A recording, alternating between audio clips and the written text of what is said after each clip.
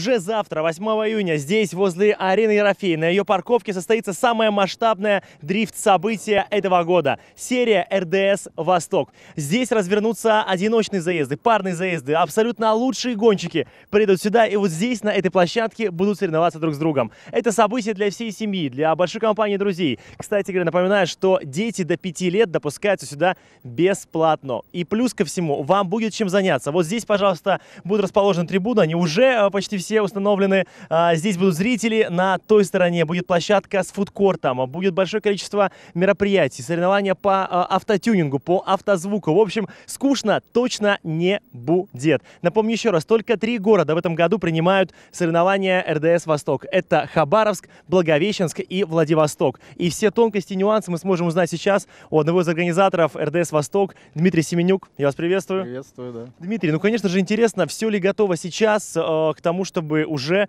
провести в Хабаровске серию РДС «Восток»? Ничего не готово.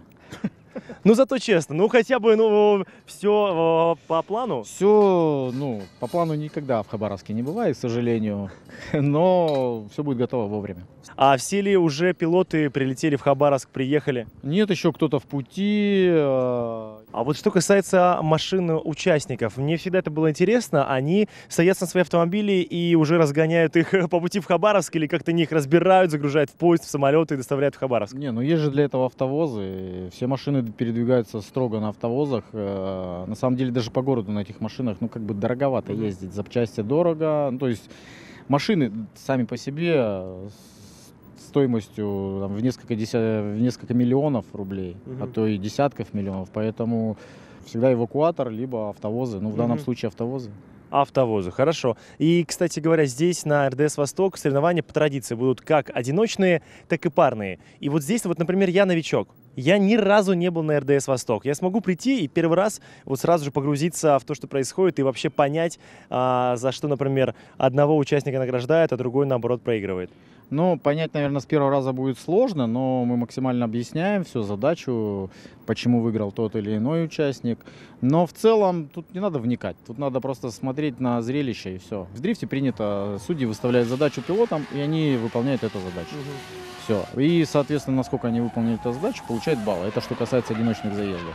А парные заезды это когда первый выполняет э, задачу, поставленную в а второй должен ехать максимально близко э, к участнику, который идет первым. И Потом все. они меняются местами. Вот на этом мы посмотрим еще раз, напомню, 8 июня. Так, ну и плюс ко всему мы понимаем, что расстояние небольшое. По факту, вот, пожалуйста, вот сейчас можно показать даже. Вот здесь э, проходят соревнования, здесь участники соревнуются и катаются. Дрифтят непосредственно перед зрителями. Теперь покажем трибуну зрительскую. Она находится в непосредственной близости от площадки с заездами. Э, вопрос логичный у меня. Ну, безопасно ли? Однозначно безопасно, но она как бы не близко находится. Расстояние более чем приемлемое. Плюс у нас бетонные ограждения, которые весят не кислые, они машину остановят. Плюс еще завтра утром уже приедет поролоновые блоки, которые ну, существенно гасят скорость автомобиля.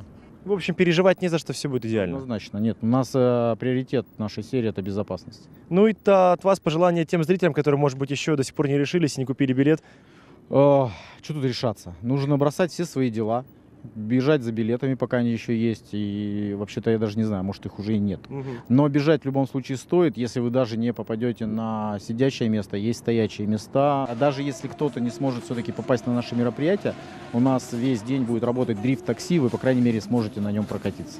В нем, точнее. Вот, так. вот э, здесь я себе галочку поставил, точно нужно будет вместе с ребенком прокатиться. Причем это будет парное дрифт-такси, то есть два дрифтовых автомобиля, специально подготовленные по дрифт-такси. Э, вмещает в себя три три пассажира, ну, из каждой.